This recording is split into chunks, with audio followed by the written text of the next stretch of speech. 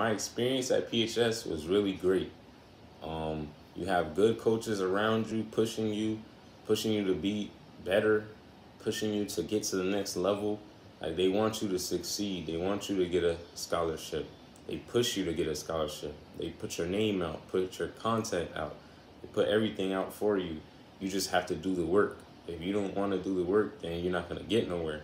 So if you're willing to do the work, then believe me, your your work ethic and everything that you do while you're at PHS will pay off. PHS is honestly one of the best programs in postgrad to come to.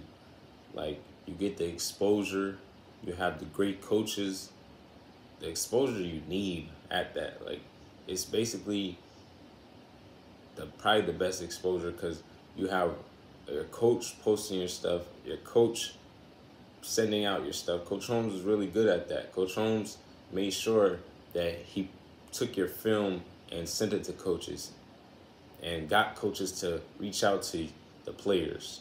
Like he was really good at that. He made sure that all of us had coaches that reached out to us.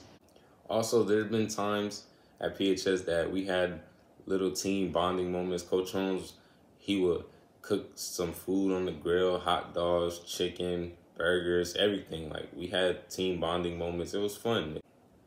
But when it came down to getting business taken care of, we had to work hard. Like we worked hard in practice.